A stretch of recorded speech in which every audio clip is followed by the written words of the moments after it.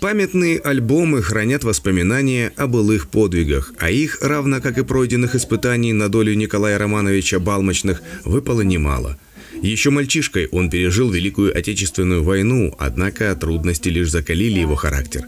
Свои 95 лет ветеран вооруженных сил СССР встречает в кругу самых близких людей, для которых он стал живым воплощением доблести и чести. К поздравлениям юбиляра присоединилась первый заместитель главы городского округа Красногорск Наталья Тимошина.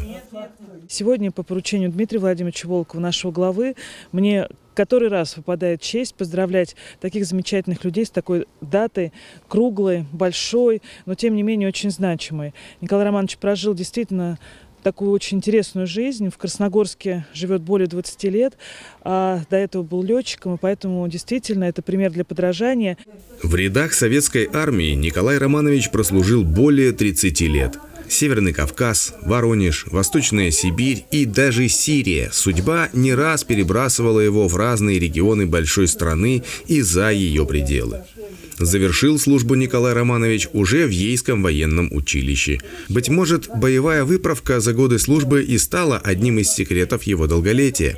Но помимо дела всей жизни у Николая Романовича есть еще одна опора в виде крепкой и дружной семьи. Трогательные коллажи с фотографиями домочадцев на стенах радуют юбиляра гораздо больше почетных регалий. Он часто нас поддерживает юмором и дает до сих пор очень скрупулезные и правильные советы.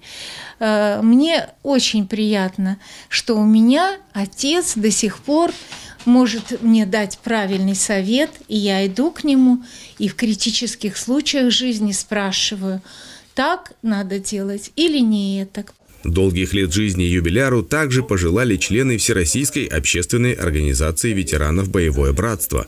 А для местной администрации поддержка старшего поколения – приоритетная и важная задача.